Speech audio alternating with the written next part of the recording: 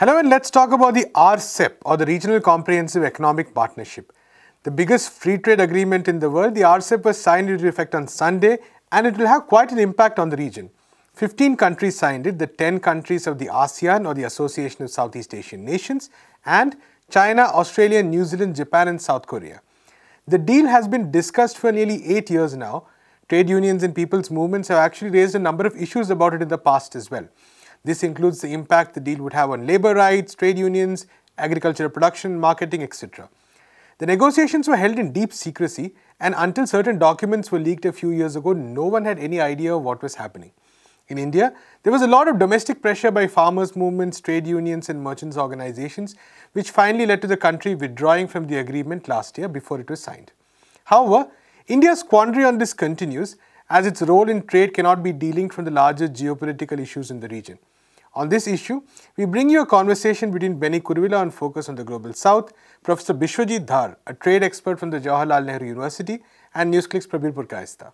Uh, Dr. Dhar, your thoughts about what this means for India to be left out of two big trading blocs, both the RCEP and the CP TPP. The RCEP declaration also allows India to rejoin uh, immediately if so it wishes. So, I mean, the rhetoric that you see in the papers is that India is going to be isolated from the next round of, of globalization. So, your concluding thoughts on what it means for India's trade strategy going forward?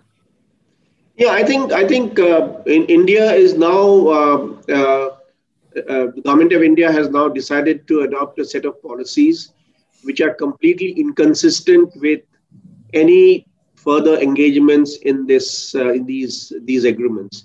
You know, uh, I don't see how the Atmanirbhar Abhiyan and the liberalization that RCEP or any other of these bilateral agreements are talking about, they can sit together.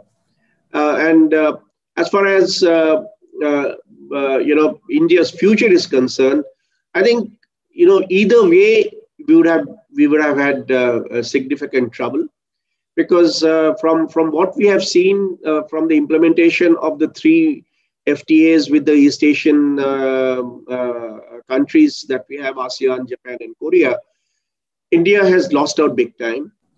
Now, uh, and uh, with the commitments under RCEP, and commitments under RCEP had to be very deep. So, like 90% plus elimination of tariffs, which would have opened up agriculture sector as well and, and that would have been very difficult for India to uh, to accept. So I think that if the business as usual continues for India, which is that we are not focusing on really turning around our real sectors, agriculture and industry. We are not trying to make our these sectors, uh, you know, sort of efficient and dynamic. We are not building this into the, uh, the, the, the processes.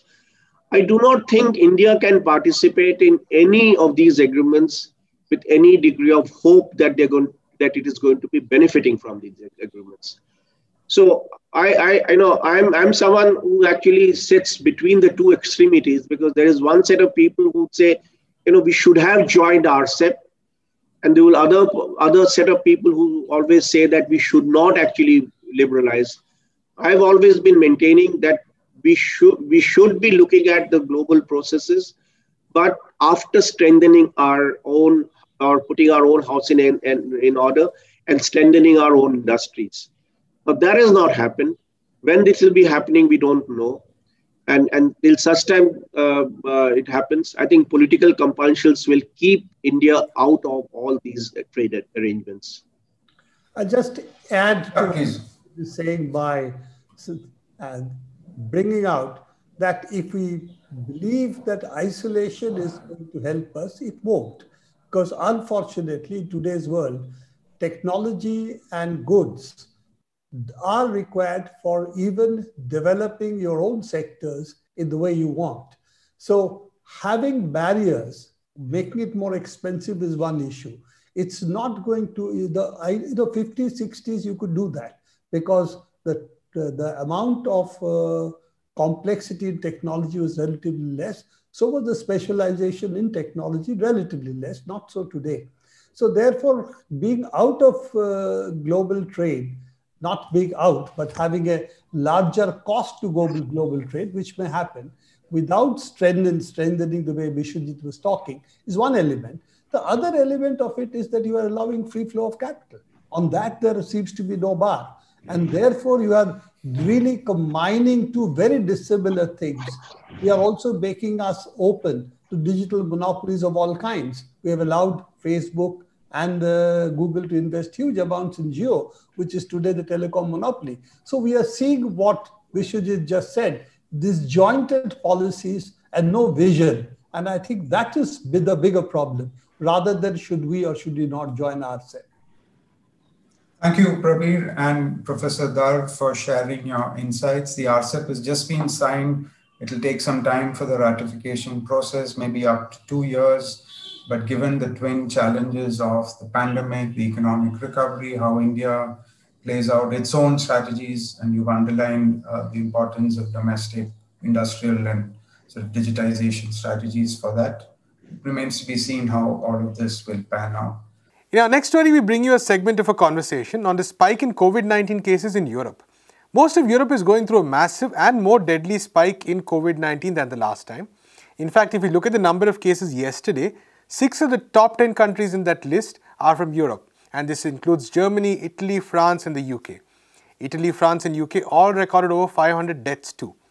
The governments of Europe did have an opportunity after the first wave of COVID 19 to put in place some measures to prepare. However, they failed to do that. In this interview, Alexis Benos, the People's Health Movement activist from Greece, explains how and why the governments failed to take the necessary action. So now we, we're coming today, and it is this is the very sad, I think, that instead of pushing some more, let's call them socialist policies towards health and health services and so on, in all Europe, the, the governments didn't care about that. They didn't do anything about the public health services.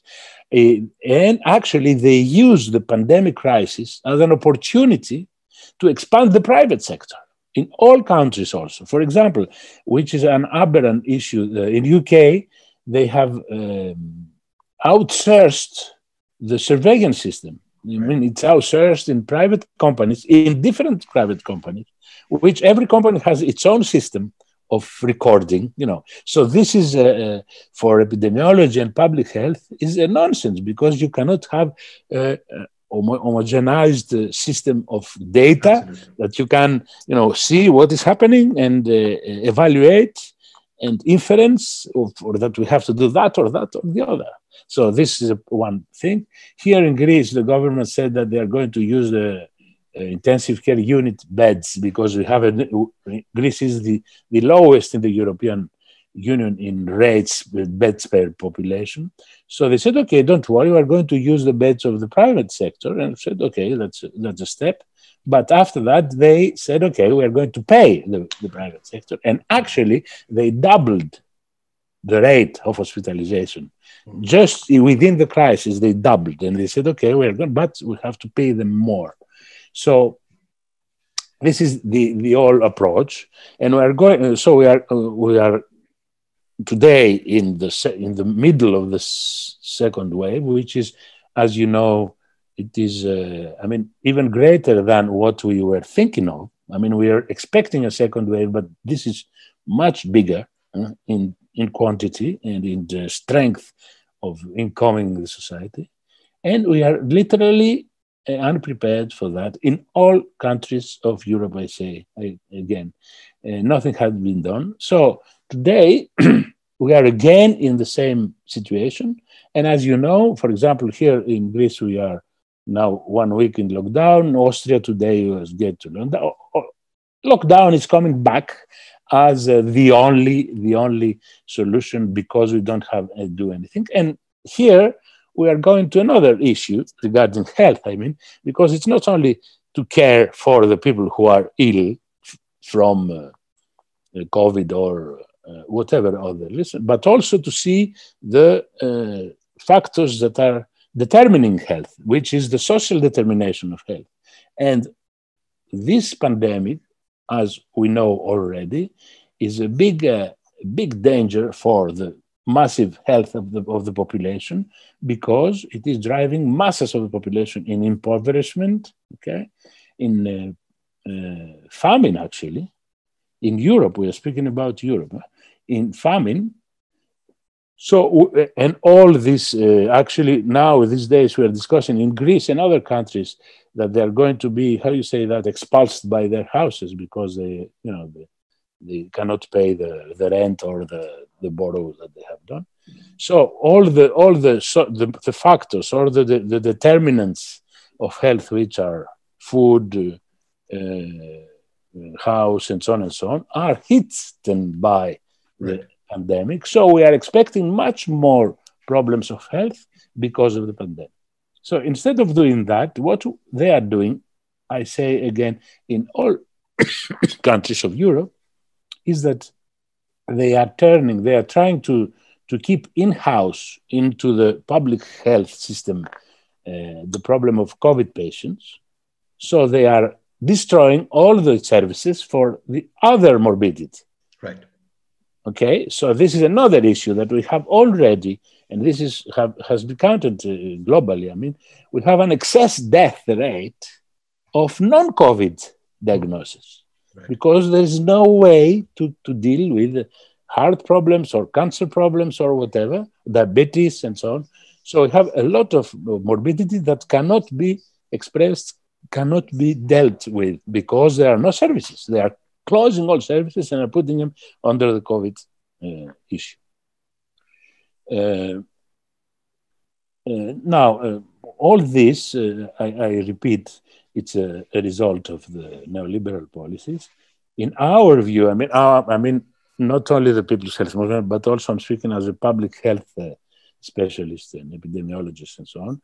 The, the, the issue which is global, it's not only European, the, the very important issue is that we have lost globally the ability what I said before, the ability, first of all, to re- record data, what is happening, who is ill, who is becoming ill, where, what are his characteristics or her characteristics, socially, uh, work wise, and so on and so on, in order to, to be able to control uh, the epidemic.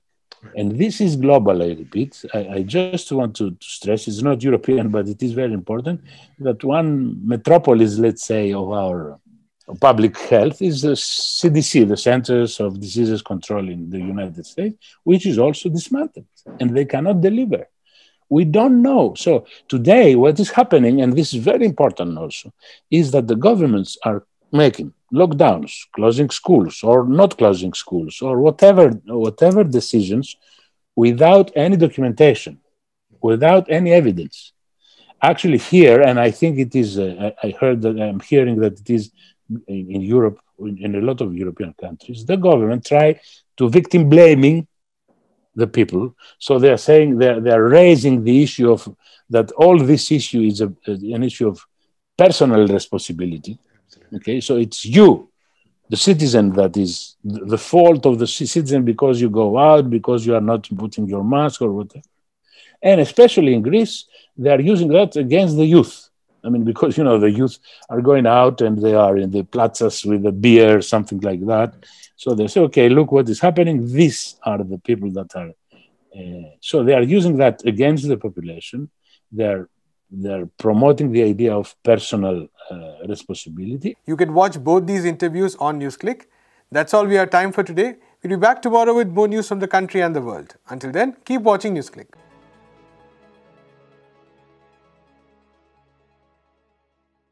You